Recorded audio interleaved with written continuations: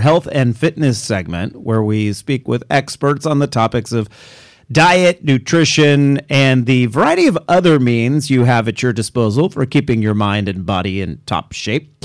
Today, we're looking at a new report highlighting the most dangerous cuts of meat in the area, or in the arena, I should say, of food poisoning.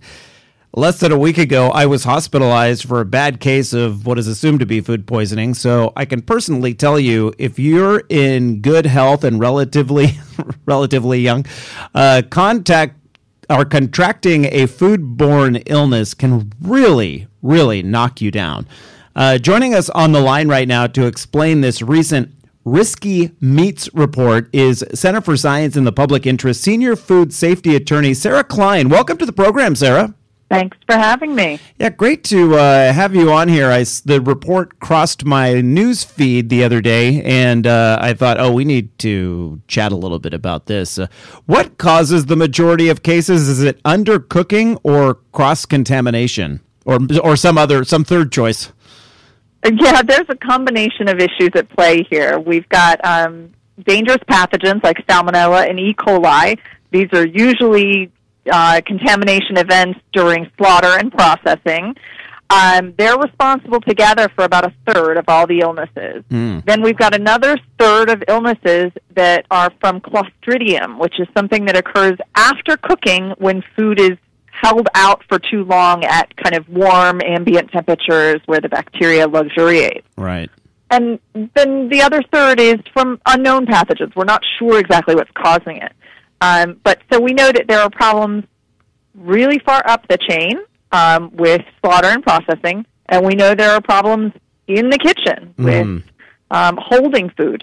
So unfortunately, you know, we, we've all got a role to play in making sure that food is safe. That's right. Well, let's start, start at the top of this uh, meat pyramid that uh, you have a graphic that you've created for any of the uh, people that are watching our video simulcast online right now at eatdrinkexplore.com. Uh, you can see this uh, pyramid. At the uh, top, you have the highest risk meats, and then at the bottom, the lowest risk. Let's start with those highest cuts. Yeah, our highest risk products, and again, these are not just the foods that are most likely to make you sick. They're the foods that are most likely to make you very sick. Oh, okay. So the meat and poultry products that are most likely to lead to hospitalization, not just a, a nasty case of diarrhea. Mm-hmm. Um, so at the very top of the pyramid, those foods that are most likely to send you to the hospital from foodborne illness would be ground beef and chicken. Okay, and it, it, the ground beef is because there's contamination on the outside that then gets worked into the meat? Yes, all types of ground meat, no matter whether it's beef, pork, poultry, they're all higher risk than intact meat products. Uh-huh. Uh, but ground beef, we've known for years it's risky. Uh, they, there have been improvements, um, but really just the way that it's made. You have one piece of contaminated meat that gets ground up with a bunch of others uh, and spreads that contamination throughout. And so that's why ground beef is always so very risky. So you were saying these highest risk meats will get you very, very ill. Uh, so your findings, you didn't just look at the number of outbreaks or cases, you looked at the severity as well. Exactly. Um, each of these foods has a bunch of pathogens that are associated with it.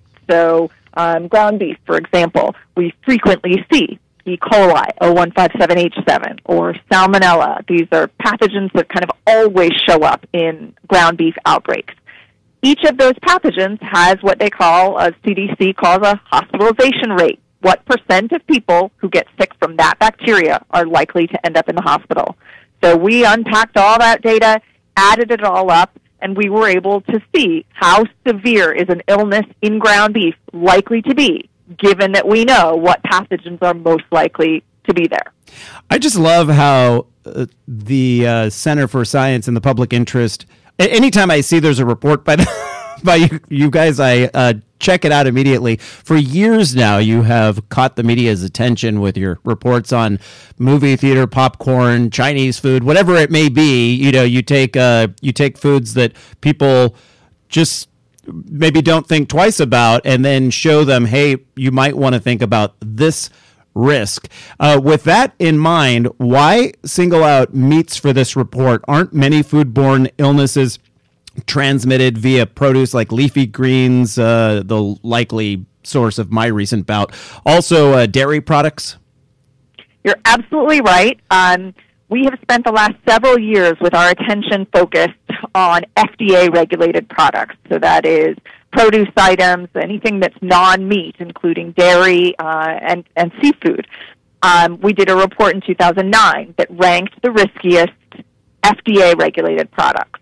Now that the Food Safety Modernization Act has passed and is kind of working its way through the regulatory process, we're turning a little bit to look at meat and poultry. We don't want to forget um, that there's kind of an even split. Half of Americans are getting sick from non-meat items, the other half from meat items. And so we need to keep toggling back and forth between these two groups of foods. Mm. The, the fact that we released a report about meat and poultry risk doesn't absolve um, the other foods that can make people sick, like leafy greens, cantaloupes, peanut butter. Um, we, you know, we'll get to them another day, as we have in the right. past. And as you mentioned, dairy. Um, you know, we are very concerned about the rise in popularity of raw milk products, that is, unpasteurized um, dairy products, and, and believe that they're extremely dangerous for consumers. So, um, luckily, we have a, enough talented people at CSPI that we're able to focus on all of these different things. Today, meat and poultry happen to be on the chopping block. All right, great, Sarah. Uh, let's move down the list now. We, you mentioned the highest risk cuts. Let's go into the high category now. Uh, I see a turkey there. What are the other cuts? Yeah, so in our high risk category, we've got turkey, steak, and then other types of beef. That's beef that may be chipped beef or stew beef or beef jerky. It, wasn't described adequately in the outbreak report. Um, steak is very interesting to most consumers. When they hear that steak is risky, it's a surprise.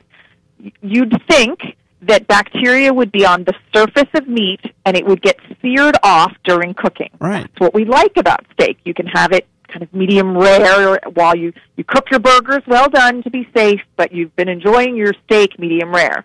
Well, unfortunately, the, the beef industry is employing a widespread practice. It's called mechanical tenderization. They're piercing tough cuts of steak with tiny needles or blades. They're pushing any surface contamination to the inside so that you've taken a piece of steak, but you've made it just as risky as a piece of uh, as a as a glob of, of ground beef. Right. Unfortunately, there's no labeling of this anywhere.